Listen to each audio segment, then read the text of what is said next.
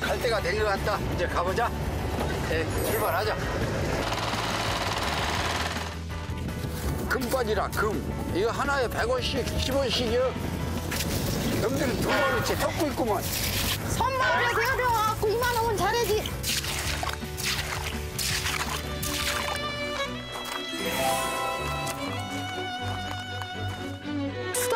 그런 게 있간? 지게로 지어다가 물 갱신히 먹고 지금도 눈물 나오려고 그러네.